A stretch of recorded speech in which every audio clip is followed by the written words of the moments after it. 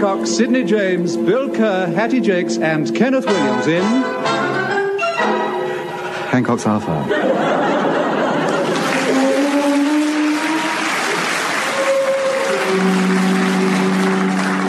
presents Hancock.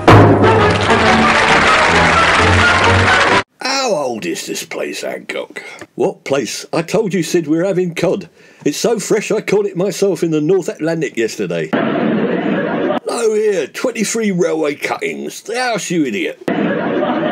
Well, why didn't you say? I think it's quite old, probably medieval. Part of the old palace of East Cheam. I think number 23 is the king's bedroom chamber. Get off. Where's his bed then?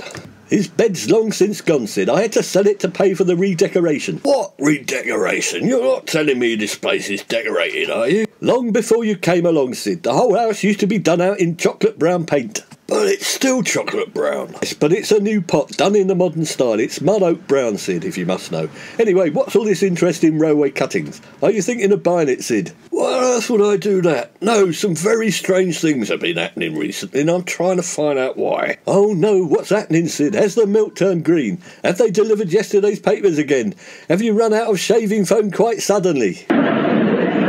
Oh, it's nothing silly like that, Hancock. To be honest, I think the house is haunted. There's a tortured spirit from the underworld come to live here. But I thought you'd lived here years, Sid. Not me, you idiot. A ghost. It could be dangerous. You're not going soft on us, are you, Sid? What the great Sid James, amateur boxer of Golders Green, scared of an apparition? Go on, give him a left, give him a right, a straight jab. Oh, look, it's gone right through him. You know me, Edgar. I ain't no scaredy cat. I ain't afraid of no ghost. It's just weird. The temperature of me room keeps dropping. I told you in winter, Sid, you need an extra pair of long johns. Look here, I'll give you a pile of fifties, and you just put them in the meter, and good old faithful our one bar electric heater will start warming one side of you again.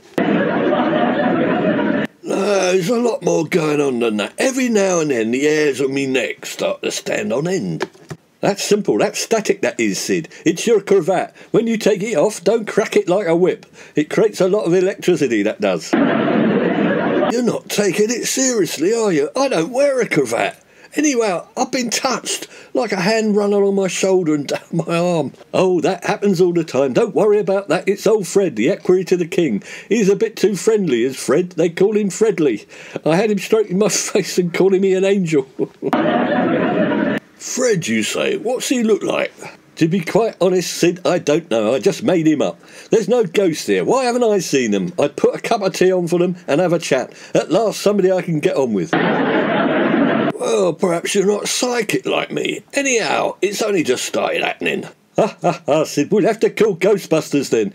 When did the earth start moving for you then, Sid? It was last Tuesday. I was just going to bed when I saw this strange shadowy thing come out the corner of my eye. Then a mist came up from underneath the front door. Oh, that's nothing, Sid. That's the last bus. It always idles outside when he goes for a fag. No, this wasn't poisonous diesel fumes. no, ah, this was ethereal, and I felt a cold breeze, as if someone had just. I'm sorry to spoil your version of the X Files, Sid, but that was me with me mug of cocoa. No, no, no, it wasn't. You had gone to bed hours ago. I was burning the midnight oil and then the lights started flashing on, off, off, on, on, on, off. Wait a minute, Sid, that's Morse code. It says, Hello from Fred, you're standing on my foot. Well, what on earth was that then? Why, I tell you, Hancock, it must be the ghost. No, no, no, it was outside the door. I'll go and have a look. Something must have fallen down. No, there's nothing out there. Yeah, he's invisible. I told you, he's a ghost. No, no, no. Next door's Alsatian. He's probably chasing a cat. Or a ghost. Now you come to mention it, I have felt a dark, depressing weight on my shoulders the last few days, Sid. It's that heavy coat with the fur collar you wear. Don't you start. What's that? Who turned the light out? That's strange, Sid. It's almost as if someone is trying to tell us something. Perhaps it's Fred. Don't you remember, Sid? I made him up. It must be your subconscious trying to tell you something, Hancock. Yes, that's it. We need some help. I'll look online. Here, East Cheam Ghost Detective Agency. Madam Hattie Jacques and Baron Snide of Snide. Ghosts and spirits exorcised. I'll give them a ring.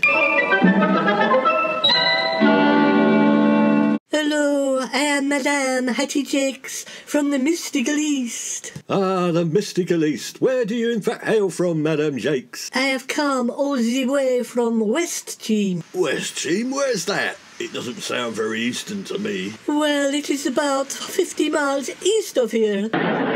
This is my compatriot, Baron Snide of Snide. Good evening. Yes, and a very good evening to you too, I must say. And what can I do for you, Mr. Hancock? Well, what we think we've got is a ghost, and we don't know what to do with it. Our knowledge of ghosts is a bit limited. Oh, wait a minute. Ah!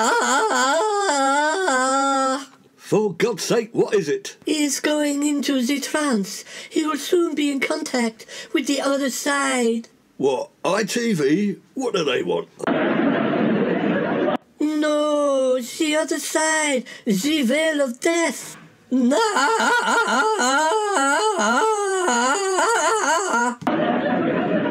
Are you sure he's all right, Madam Jacques? I see a big castle with many men all dressed in green hose. Is this in the garden or something? Oh no! Oh, they're all wearing green tights. Oh, they used to in those days. Oh, this place used to be a castle. There you are, Sid. What did I tell you? King Henry IV's old gaff. Is there a large bed and a man called Fred? No, there is a lady. She wants to speak to Mr. Hancock. Is there a Mr. Hancock here? Yes, that's me. How does she know my name? What on earth can she want? She says she's in love with you and she finds you very attractive. So, what does this comely wench look like, Baron Snide? Oh, yes, he's very good looking, a cross between Marilyn Monroe and Meghan Markle. Just my luck. I found the woman of my dreams and she's dead. Yeah, it sounds very interesting. Is there anyone out there for me, Baron Snide? Oh, well, let me see. No. Wee, there is a lot of psychic phenomena in this house. I'm afraid we're going to have to contact an exorcism. Well, I don't know. My art, you see, I'm not used to exercise. No, no. An exorcism is where we have to get the evil spirits out of you, Mr. Hancock. I'm quite happy with me spirits, evil or not. It's him you've got to sort out. Sid James. Why me? What have I done? You've brought this upon us. You're full of evil spirits. You only have to take one look at you. You're full of ghoulies and ghosties. I ah, have you know I went to a very religious school. You told me you were expelled from a very religious school for dressing up as a goth. Oh no, I sense there is some tension between the two of you. Perhaps this is the cause of this psychic manifestation. Well, I wouldn't say there's any more than usual. Sid here is my best friend, and I don't loathe him that much. Well, tar very much. Yeah, but there has been a problem recently. It's my rent review. Old Nicholas Van Hoogstraten here wants to put me rent up from a hundred pound a week to two hundred and fifty. It's daylight robbery. I wouldn't put up with it if I was you. It's not my fault, it's Brexit. All me costs have gone up. Stage makeup, marmite, carrier bags, broccoli. That's not 150 quid's worth, Hancock. Oh yes, I can feel the tension. This is what is causing it. You need to resolve this now. Yes, all right. I won't sleep at night if he's manifesting all the time, will I? Sid, it's negotiable. 200 quid. Nah, 90 quid or no deal. But that's less than you're paying now.